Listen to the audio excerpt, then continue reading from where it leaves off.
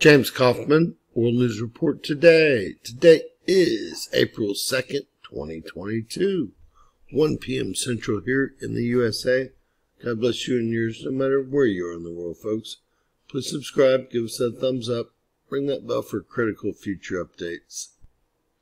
Ladies and gentlemen, we've had three M-class flares already directed towards the planet, showing up on our GOES X-ray flux today, as you can see here, and we've never went below that C flare baseline. Very, very dangerous situation.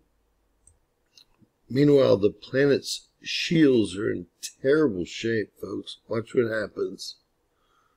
It's that C flare baseline hitting everyone on the planet with X-rays, which is radiation you're ascending, you're being burned alive.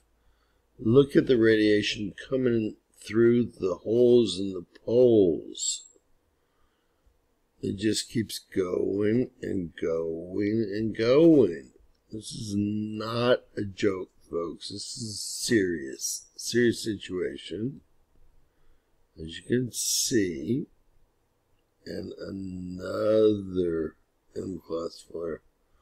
All I can say is wow, folks. Uh, three M class flares inbound, and just as I guessed we'd be hit by that M flare today, well, we were, folks. Nine hours, at least three hours of decent geomagnetic storm, KP5, and six hours of KP4 which must have been the M flare that was inbound that we discussed should hit today. God bless you and yours, folks. Please share, please subscribe, and always remember anything's possible in Bizarro World.